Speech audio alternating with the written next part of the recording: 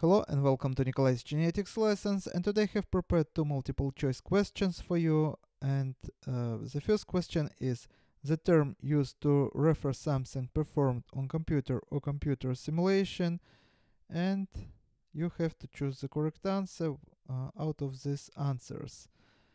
And let me start with the uh, end of this list of answers uh, in situ what does it mean? Take a look at this picture. And basically in situ means that you conduct your experiment without removing the object of your experiment from its natural environment. And uh, for example, in biology, uh, means that you basically would study your organism its uh, in its natural environment and basically you bring your laboratory to the object of your interest. And for example uh, in archaeology that means that you do not remove the object of your interest and you study it again in uh, in place basically in place without removing it. So next uh, variant of the answer C in vitro what does it mean uh, and here's another picture which was 100 words. Basically that means that you conduct your experiment uh, in vitro means in glass.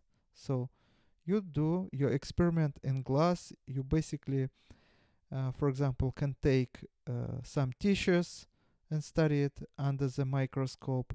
Or for example it can be in vitro fertilization when you take egg cell, sperm, and fertilize egg uh, uh, with uh, sperm egg cell.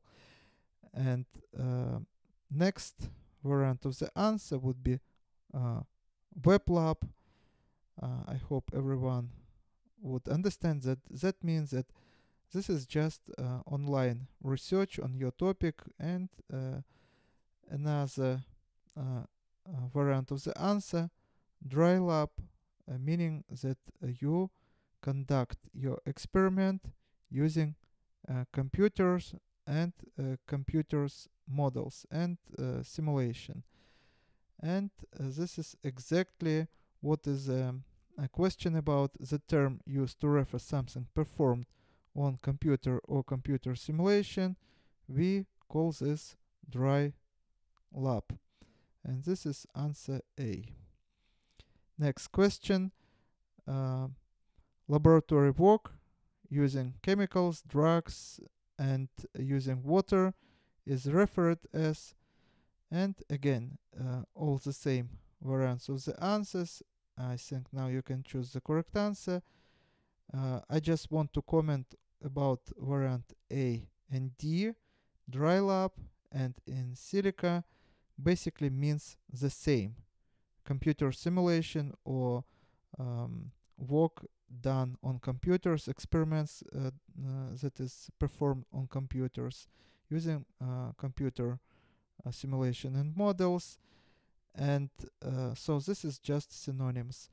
And uh, of course, the correct answer here would be wet lab.